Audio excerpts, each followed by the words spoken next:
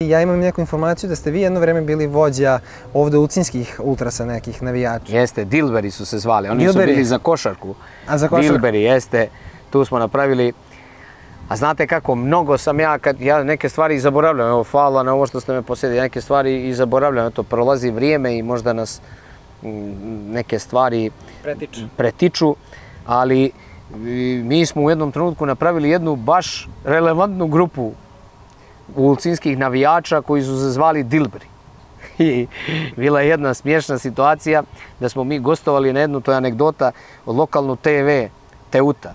Ja sam inače bio direktor te televizije kasnije, ali to je ovo, mi smo sad bili srednjoškolci, mi smo gostovali, to je bilo ovako interesantno ljudima, skupljamo se, idemo, palimo bakle po ulicama, vičemo, e, Sjećam se, tada smo vikali ispred policijske stanice, ko ne skače, taj je policajac i tako. To je bilo nešto novo u gradu. Ja govorim sad o 2000, to je 99, to je potpuno jedna 2001, to je vrlo jedna Vi ste taj svoj Strange- bunt održavali strange kroz... situacija, strange situacija. I mi gostujemo na ovu lokalnu televiziju i zove jedan pristanđija, to su ovi ljudi sa pristana, ribari, i kaže kao njemu je okej to što smo mi napravili tu grupu, ali izabrali smo, kaže, jako ružno ime, jer Dilber znači peder.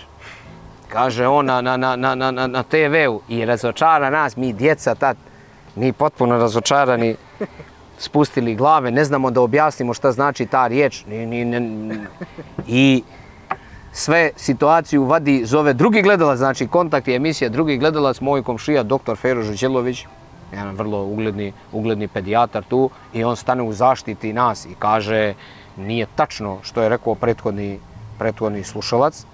Ja sam otvorio ovu jakliju i sad ću vam pročitati šta znači riječ Dilber.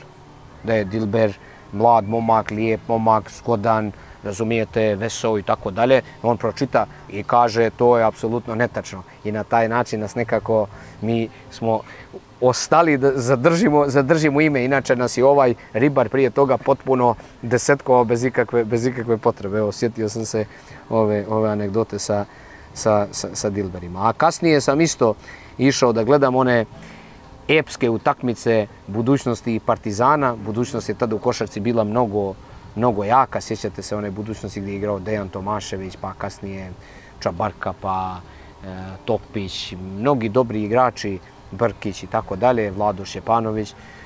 I za njih sam nekako bio, bio zagrijan, ali eto, malo kad prođe vrijeme, sad sam, ne, ja sam smireni navijač. Ali danas vas ljudi kada je košarka u pitanju mogu vidjeti na tribinama Partizana.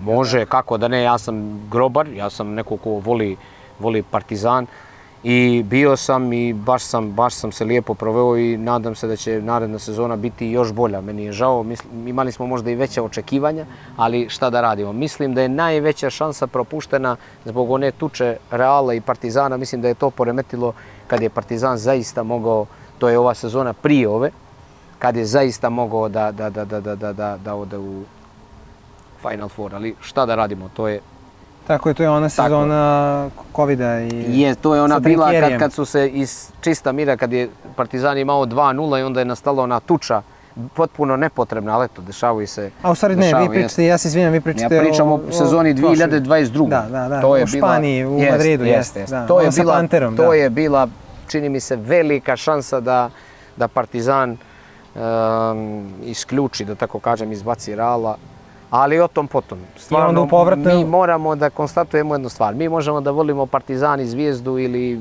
da ih ne volimo i tako, ali to što, to što radi Partizan u košarci, to kako je brendirao klub i šta je on napravio od tih utakmica, pa i Zvijezda donekle, ne, ja ne mislim da je taj nivo, ali jako, jako blizu, to prevazilazi osjećaj sporta. Znači, ići na utakmice Partizana, to je događaj. To je kao da idete e, u New Yorku, ne znam, da slušate najbolje operske pjevače ili to je više od, to, više od običnog sporta. To Više je događaj, to je teatar, to je, to je nešto nestvarno i mislim da je to nešto što je zaista za veliki respekt i mislim da je to veliki brend i za državu Srbiju, a generalno i za region i za promociju sporta. Ja kao navijač Zvezde potvrđujem ove reči, apsolutno se... Nije ni Zvijezda daleko, pokušava da kopira, ali Košarkaški Zvijezda, Malčice je Zvijezde, to je moje mišljenje, neće mi zamjeriti Delije, mislim zamjerit će mi 100%, ali što da radim. Dakle, mislim da je malo to uvještačeno kod, kod, kod, kod Zvijezde, a mislim da je zaista nekako kod Partizana iz srca.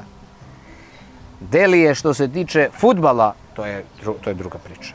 Mislim da je to Može tako i najpoštenije. Možda je tako najpoštenije. Znači u futbalu to je već, čini mi se, drugi rang u odnosu na Partizan. Košarka, mislim da je Partizan ipak napravio nešto da stvarno ljudi, čak i ako nisu grobari, oni kad dođu u tu atmosferu, vi ne možete više da ne volite taj klub. To je samo pitanje onda koliko, koliko ste spremni da se žrtvujete za to.